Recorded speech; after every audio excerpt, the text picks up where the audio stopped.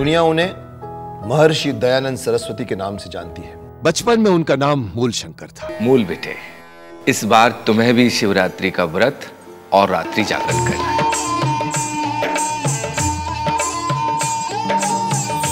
माँ मैं यहाँ इसलिए नहीं आया हूँ क्योंकि मुझसे भूख सहन नहीं हुई। बल्कि मैं यहाँ इसलिए आया हूँ क्योंकि मंदिर वाले शिव पर से मेरा विश्वास उठ गया।